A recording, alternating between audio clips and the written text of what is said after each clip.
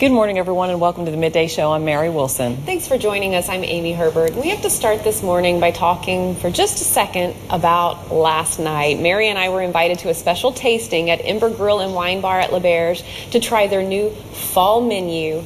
And it was spectacular. I think we're both still full. They uh, fed us so many different dishes, and it was just fantastic, each and every one of them. And we want to thank Carrie Anderson, L'Auberge, and the entire team over at Ember, Nick, and all the staff that worked there. They were, um, you can see one of our, our co-guests there, Mario, carving up a, uh, what was that, a pork belly, right? Pork belly. That was phenomenal. I've never had that before, and it was unbelievably good. And then, of course, we all got our own. Uh, trio of desserts. It was indulgent, to say the least. Well, thanks to all of them at uh, Ember because we really had a wonderful dinner, and uh, we're going to have to go back and have some of those dishes again. Well, we will, actually. As a matter of fact, we've got the team from Ember along with uh, Chef Brock coming on the show on November the 13th to share some of this new fall menu, and, and it really does have the flavor of fall in it. Yeah, it was all all wonderful. Highly, Absolutely highly encourage you to get out delicious. there. All and right. speaking of